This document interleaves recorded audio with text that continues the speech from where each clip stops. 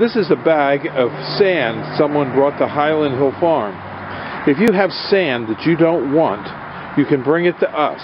We'll also take other things such as vermiculite and perlite if you have those items as well.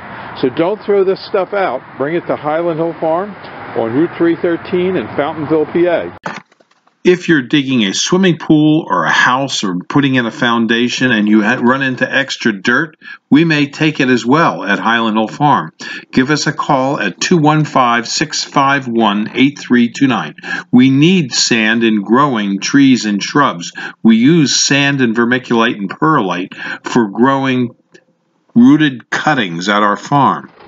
We're located on Route 313 in Fountainville, Bucks County, near Doylestown. And we have a lot of trees and shrubs for sale. And if you need them, give us a call and we'd be glad to try and supply you. We also deliver and plant our trees in New Jersey and Pennsylvania.